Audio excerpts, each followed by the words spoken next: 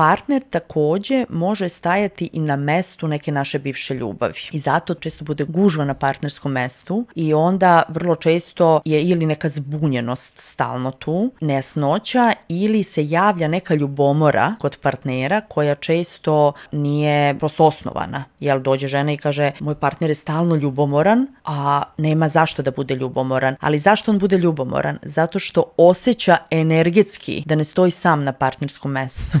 Nego je bukvalno kao eterično telo ostalo energetski otisak mm -hmm. od nekog partnera koji može biti i pre 15 godina, neka davna ljubav gde nešto nije dovršeno, završeno, isceljeno, isporučeno i bukvalno energetski taj partner ostao tu, odnosno ta žena je ostala vezana sa njime. I zapravo stoji dva partnera ili nekada i naravno mnogo više partnera. Tako opterećena i seksualnost. I u krevetu nisu sami, ni na tom mestu partnerskom ne stoje, ni u tom zagrljaju. Kad imamo tri ili četiri ili ko zna koliko ljubavi zapravo koje nismo dovršili, završili, jel nismo energetski raskinuli linkove